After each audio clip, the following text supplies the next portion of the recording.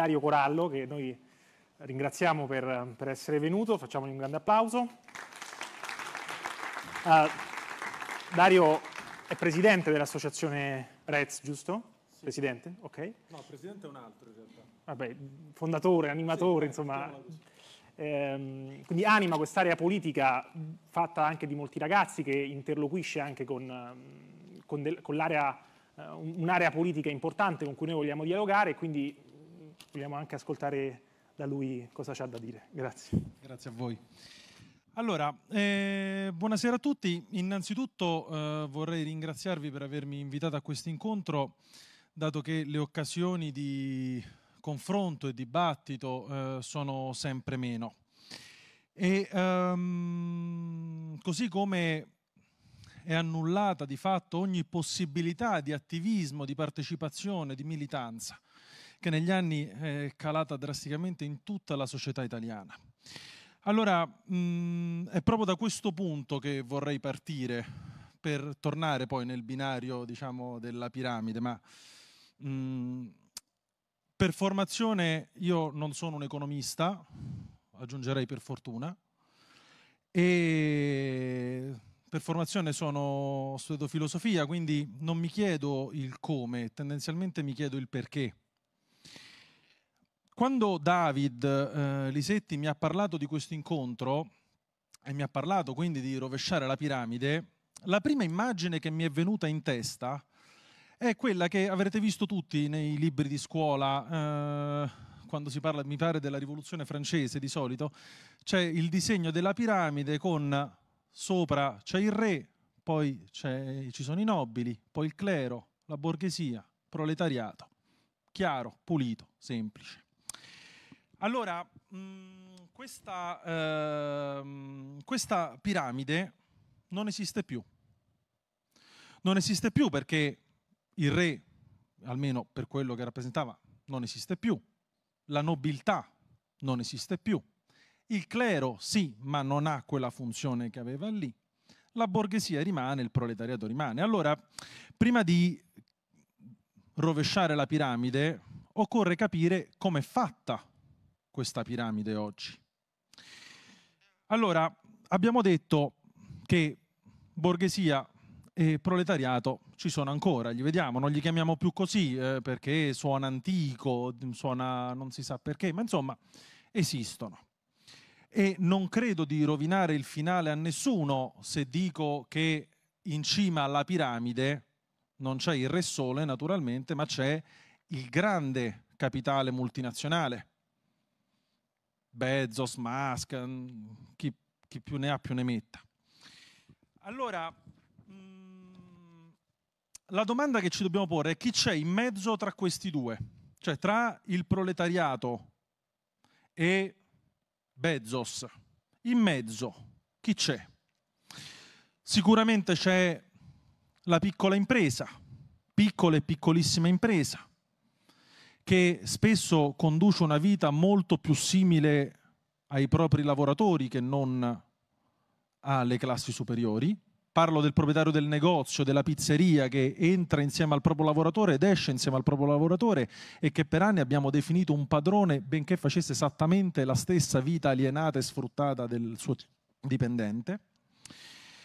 E poi c'è la grande impresa, medio e grande impresa, certo non come quella multinazionale enorme, eccetera, ma comunque in grado di cambiare, di modificare la vita di migliaia di persone, di lavoratori, di, di cittadini.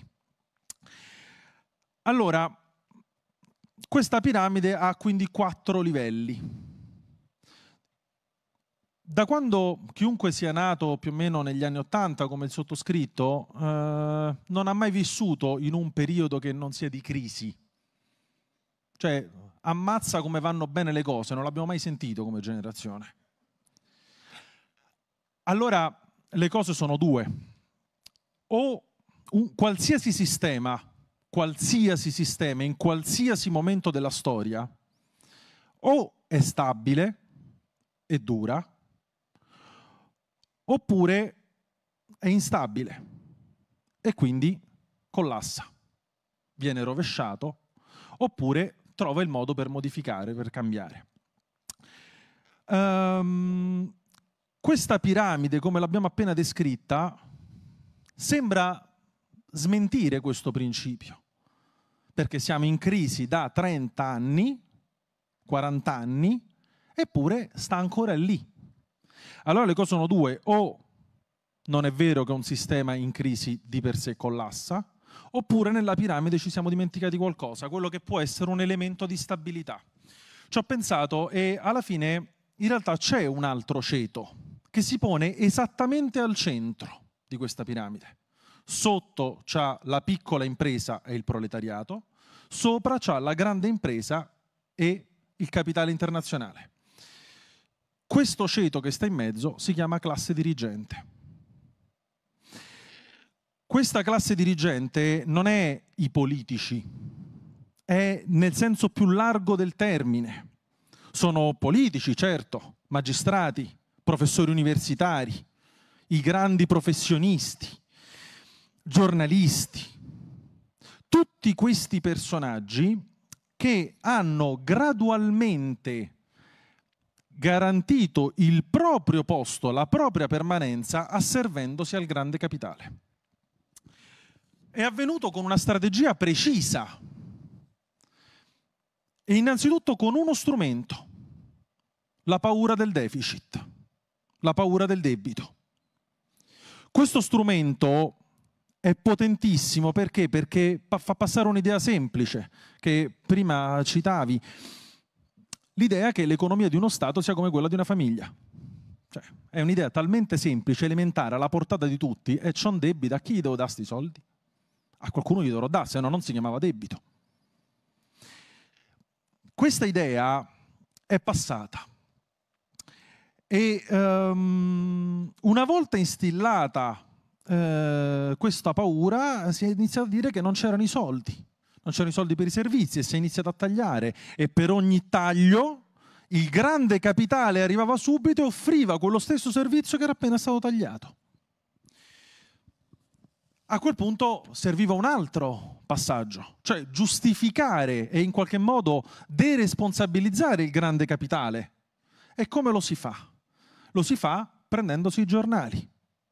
Si abolisce qualsiasi tipo di finanziamento ai giornali, vengono comprati sempre dal grande capitale ed ecco che ti ritrovi che da un giorno all'altro il motivo per cui ti hanno tagliato l'ospedale è per colpa del fatto che quello della pizzeria sotto casa non ti ha fatto la ricevuta. La micro evasione, la piccolissima evasione diventa la causa del tuo esserti rotto la gamba e non aver avuto il gesto subito. Questo è stato il secondo passaggio. Vi è poi un, uh, un terzo passaggio, e cioè mh, mm, che in tutto questo la classe dirigente che sta là in mezzo era ancora scalabile. Bisognava impedire che fosse scalabile, impedire che i lavoratori potessero diventare classe dirigente. E come lo si fa questo?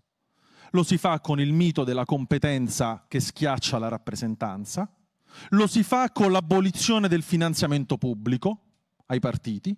E il risultato qual è? Il risultato è che si va per cooptazione. Vuoi fare politica? Sì, candida presente a consigliere municipale, fai le tue cosine belle sui diritti, disabili, quelle cosine belline, non ti diamo più di quattro soldi perché a noi non interessa, basta che non metti in discussione il sistema.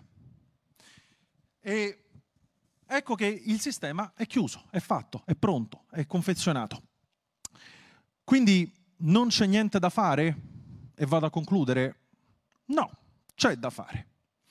C'è da fare perché in realtà questo sistema ha un elemento di crisi. L'elemento di crisi è che si fonda tutto sulla cooptazione. Vuoi lavorare all'università? Bene, il dottorato di ricerca, se non lecchi il culo a un professore universitario, non te lo fanno fare. Vuoi fare politica? Se non lecchi il culo a dirigente, non, vieni, non vieni candidato. Io, quando mi ero candidato al congresso del mio partito, tempo due mesi hanno raddoppiato le firme necessarie a candidarsi, perché quella cosa non doveva più succedere. Allora, mh, mm, questo meccanismo di cooptazione in realtà crea, genera rabbia. E questa rabbia è lo strumento più potente che possiamo avere dalla nostra parte, perché per ogni giovane che riesce a entrare centinaia vengono esclusi e quelle centinaia che vengono esclusi sono doppiamente rabbiose perché la mia generazione è cresciuta con la storia della società della cultura, quell'enorme fregnaccia per cui se noi avessimo studiato nella vita saremmo stati classe dirigente, col cavolo. Abbiamo studiato, siamo molto più colti delle generazioni che ci hanno preceduto, siamo la generazione più colta che sia esistita nella storia e stiamo in mezzo a una strada. Allora, questa povertà questa povertà ci ha costretto, a, ci costringe quotidianamente a lavorare per eh, dei capi, dei dirigenti trof, tronfi, ignoranti, saccenti, perbenisti, dalla mentalità piccolo borghese e con l'empatia di una tigre del Bengala quando non mangia da una settimana. Allora, questa roba vale per tutti i paesi. Sì, ho finito, scusate. Prima Di Battista diceva, me lo sono segnata, che serve una battaglia culturale. Le battaglie culturali non esistono. A noi serve organizzazione, strutture e soldi. Tutto il resto diventa un circolo di conversazioni per intellettuali borghesi annoiati. Solo così possiamo effettivamente rovesciare la piramide in due fasi, perché se te la prendi subito con Bezos perdi male, lo dico per, non per esperienza perché non sarei qui, ma eh, si perde male. Ribaltamento in due fasi. Prima la classe dirigente che va abbattuta politicamente, si intende, anche perché se no vengono e mi arrestano. Poi si va a togliere gli strumenti al capitale di poter incrementare se stessa ad infinitum. Noi siamo forti però di un fatto, che siamo anche poveri, disorganizzati, smarriti, ma siamo di più, tanti di più. Quindi vi ringrazio e buona continuazione a tutti noi. Grazie.